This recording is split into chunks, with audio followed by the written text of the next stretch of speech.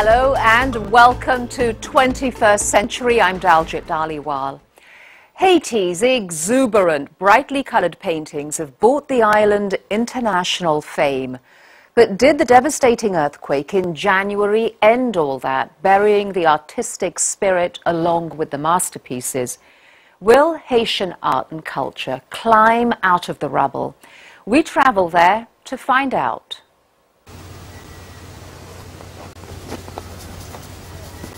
It doesn't come into my head to do something that I see or something realistic. Most of all, I prefer impressionistic, surreal, a bit naive. Since he was 10, Prince Luc has known that he was born to paint. Now at 33, he is one of Haiti's upcoming artists, living and working in Jacmel. This French colonial city by the Caribbean dates back to the 17th century. Long favored by Haitian artists, the city's carnival has always been a highlight when its legendary artworks take to the streets.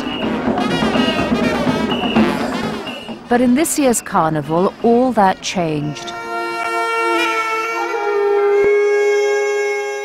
Prayers for the dead filled the air rather than dance music.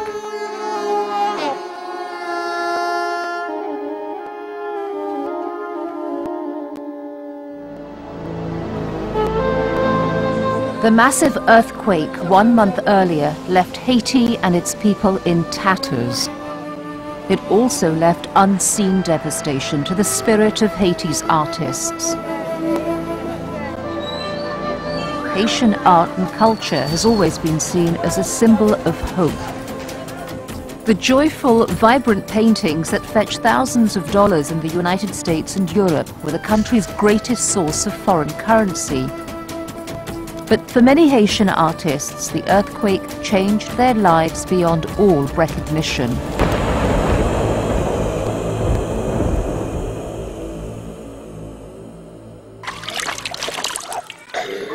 Prince Luc, single parent to two-year-old Samara, was one of them. On the day of the earthquake, he had been working in his studio at Jacmel's Art Centre, once a thriving hub of local artists. He left early and went home. And just after he arrived, it happened. You could hear a noise, but you didn't know where this noise was coming from. He grabbed Samara and ran as their house collapsed around them. Everybody, instead of standing up, threw themselves on the ground. But we didn't know if the ground was going to open up if we were going to fall inside. We didn't know anything. In those 35 catastrophic seconds, most of the house Prince Luc had spent years building fell before his eyes. Beneath the rubble of his studio, he also lost almost all his paintings. But he considers himself one of the lucky ones. With an estimated 300,000 people killed across Haiti in those fateful moments, and millions left homeless, in one of the largest humanitarian disasters the world has ever seen, Prince Luc and Samara were indeed lucky. But while their lives were saved, the future of Haitian art lies in the balance. Much of Haiti's precious artwork, symbols of Haitian culture and the people's identity, were lost in those seconds when the earth heaved. This museum houses all the artistic legacy of the grand period of Haitian painting. Patrick Vilaire, himself a well-known sculptor, together with art dealer Axel Liautaud, sift through the wreckage of the Musée Collège du Saint-Pierre. It once housed one of the most important collections of Haitian art in the country. This collection here is where you find all the works of the masters of Haitian painting, the great artistic movement that was born in 1945. I came here today after the earthquake to try and save the collection because it's in danger. It's a painting by a Haitian artist who lives in France. It's not only the danger from thieves who have already helped themselves to some of the pieces, but also the damage to the building itself leaves the masterpieces open to the rains.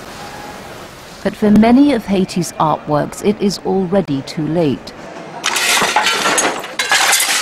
As well as priceless pieces lost in the rubble, many of the culturally important buildings themselves are now reduced to piles of debris, taking unique murals with them.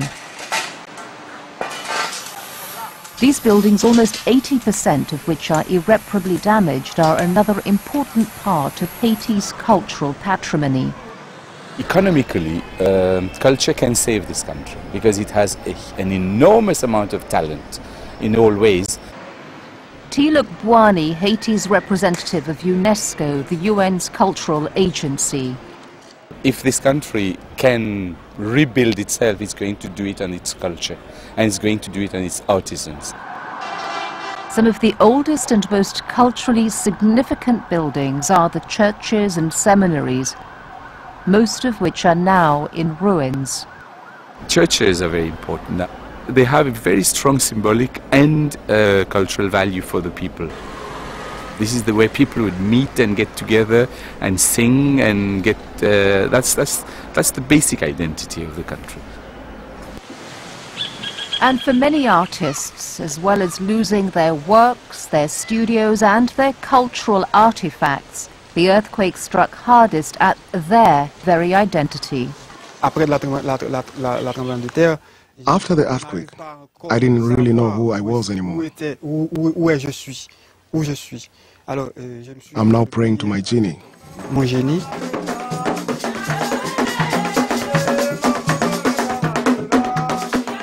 His genie, or his artistic muse, is sometimes a Christian saint and sometimes a spirit from the voodoo ceremonies. Like many Haitians, his identity is deeply influenced by both.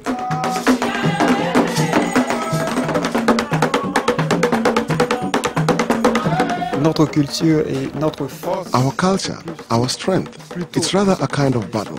It's a sharing. I want to go back to our culture, to show it how it is. Sometimes my work is on this voodoo thing. Voodoo Est.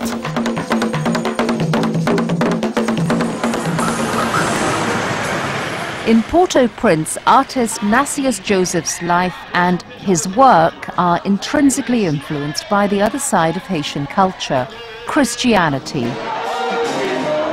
He thanks divine intervention for having survived the earthquake.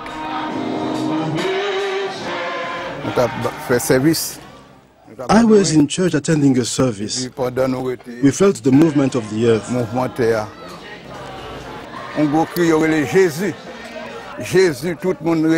Jesus. Everybody called Jesus. This was the only name, the only sound. By a miracle, God did not let the church fall on us, and we came out safely. This is something we can't explain. It was marvelous. But despite the survival of his entire family since the earthquake, 71-year-old Nacius has almost lost his spirit to continue working.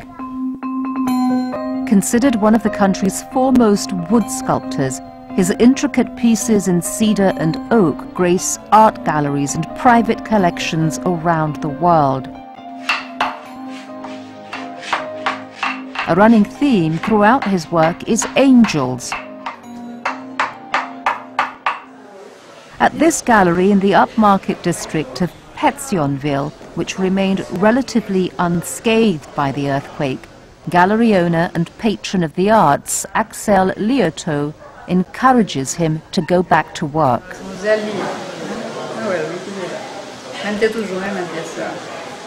But although this gallery survived, the market for artworks didn't, leaving Nacius without an income. Since the earthquake destroyed his home, he and his family have been living in squalid conditions in a makeshift camp. My house is cracked. We can't sleep in it. That's why we're behind here. Nacius, his wife and two of his five children now live alongside an estimated 1,500 others in this camp alone in a similar plight. There is nothing, no food, completely bare. We are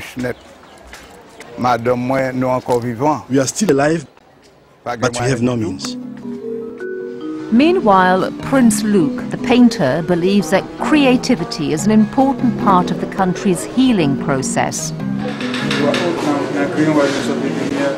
Several days a week, he volunteers in the Art Creation Foundation for Children in Jacmel, which provides both a refuge and a diversion for poor children traumatized by the earthquake.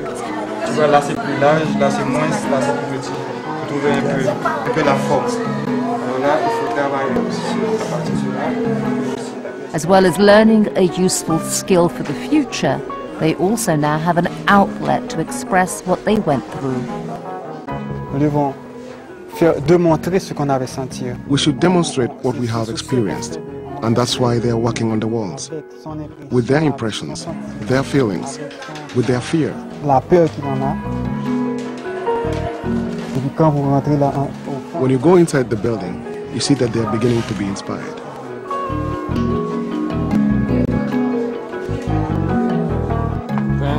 Prince Luc, too, is struggling to comprehend the catastrophe through his art and is finding a new style. Before, I preferred the colors that spoke of life, that have more elements, that are more joyful, because I love gaiety. There's too much death, too much havoc, too many things have happened in front of me. I've gone back more deeply into that darkness. There is a tiny bit of color that remains.